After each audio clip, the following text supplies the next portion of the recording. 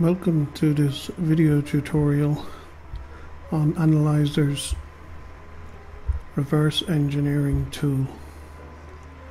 Today we're going to focus on reverse engineering the temperature field of a Toshiba AC signal. As you can see we have quite a lot of signals captured. In fact we have 55 of the Toshiba AC signals recorded. You can also see that the lengths of each signal uh, vary quite substantially in this protocol from 144 bits to 160 bits um, to 112 bits. So there are three um, three uh, different length signals in this protocol. Now, before we jump in, I just want to point out something first. Over here on the right, we can see that the carrier frequency for these signals are 38 kilohertz. The um, the button column here, this is a very interesting thing. When you're reverse engineering, it is a good idea to enter, as we have here, the temperature fields for each signal in a in ascending order if possible. They're not all in ascending order here, but it's almost impossible to reverse engineer signals when you don't know what you were trying to reverse. And the other important point is to change only one feature at a time. So uh, having um, changing temperature one degree at a time, for example, is a very good good approach. Um, changing fan speed one one option at a time then it allows you to see those changes in the in the actual protocol. So why not? Let's jump in here and go over to the reverse engineering tool. Okay. Now here we have a different presentation of all the signals. And as you can see when I was mentioning about changing one thing at a time here lots of things were changing in these signals so it's really hard. These are better because only one thing is changing from what I can see one or two. But because over here we don't have a description of the button that was pressed it's sort of useless to us in some way. But if we go down to the other signals where we do have the temperatures uh, we, we can we can get a a better understanding of what's happening. So first of all let's just compare it here to the second part of the signal over here. And as you can see up above the signal is repeated twice and it, it seems to be identical. And that's validated here as well. So we have 144 bits um, here and here. Now from a previous video tutorial we, we also uh, made a calculation on the same protocol. And in that protocol we we realized that the CRC is the last byte in each of in in the last byte of the signal. Um, and here you can see in each part of the signal it's the last byte because this is changing every time. And that's a good indicator that, that for the for the um, uh, see the checksum field. Here the same column didn't change but as you can see here they're different length signals so that would explain why that is so we have to look out that they are the same length signal each time we're, we're checking for that. So coming back down here, um, one other thing I'll just point out is that if we hover the mouse over any hex value, we can see it, we get a short pop-up of the binary just to make things easier for us. Uh, it helps a bit when when trying to figure out this reverse engineering. Okay, so we have, let's start here at 17 because obviously I saw this before. And here we, we're seeing here that from at a temperature of 17 degrees going to 18, we're seeing that this number changes to the 0 changes to a 1, then going to 19 it changes to a 2, going to 20 a 3, and 21 is a 4. This is quite a common feature in temperature fields. They will they will have the base uh, temperature, uh, in this case in degrees centigrade, at 16 degrees centigrade, and will increment that field from 0 so what you do is you take each, take this value and add it to the base in this case is 17. Sometimes it can be 15 or 16. So it, it works out quite well. And if we go to 25, it's 8. 17 plus 8 is 25, so that works out.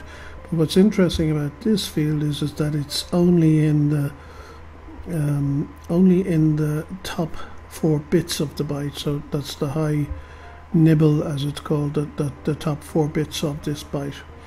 Now, um, if we go up here, this is a signal that doesn't have a temperature, but you can see it goes to D, and here it's C and B, so you can see that it goes up. Uh, um, D is 13, so that would be 30 degrees centigrade if you add it, add it to um, 17.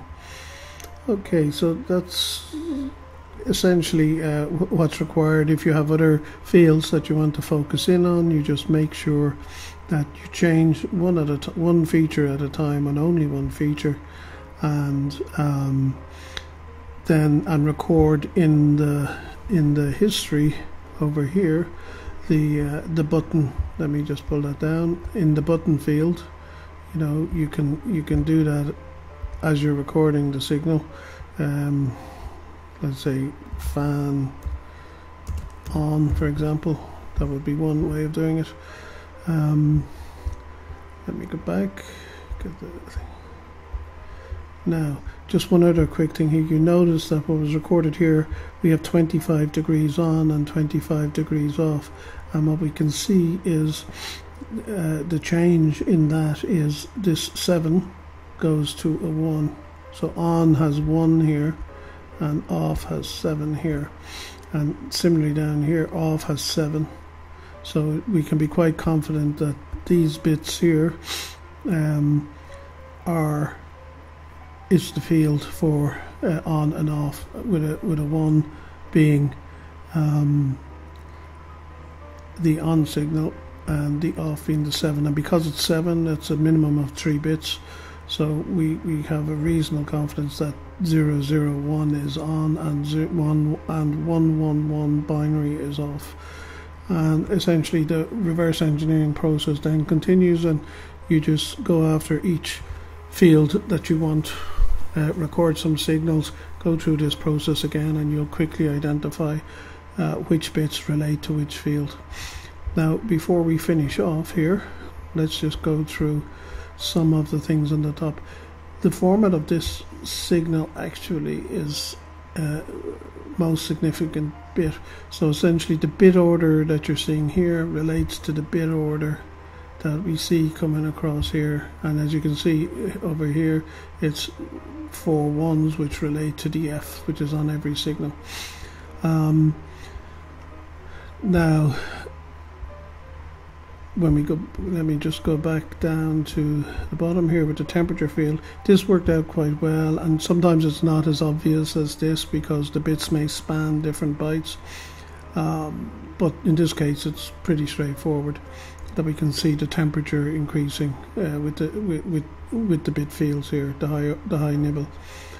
Um, now sometimes and it's more common with uh, air conditioning uh, signals that the bit orders are in LS bit orders of each byte are in LSB format, which we refer to as LSB8, um, and the in this case it, they are MSB, so it, it, just the defaults work fine. But just bear in mind that you may need to change the bit order to see the correct pattern. So it's worthwhile doing that a few times to make sure you get the correct pattern.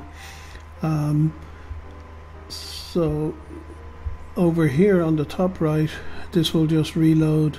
For example if you had if you had um, recorded an additional signal this will reload all of the values in from the history in the background here. And the last one is um, by clicking this uh, button you copy all of the contents in here to um, to your clipboard, which you can then paste into an Excel spreadsheet or whatever other application you prefer to do. If you need to do, you may want to move it into uh, a program or other to do further analysis. Um, so that can be quite handy. Um, so reasonably, this is HTML, so it's reasonably structured to to be analyzed elsewhere. Um, so I think that about wraps up the tutorial for today, and hopefully you will have an easier time trying to reverse air conditioner uh, signals in future. Um, if you are interested in AnalysIR, you can always download a demo copy from the website, which is prominent when you go to our website down here. Um, the demonstration version is a limited, restricted functionality version, which was with, with enough functionality to give you uh, an idea of uh, whether you would like to use the tool or not. Alternatively, you could just go ahead and get your own copy via the website as well.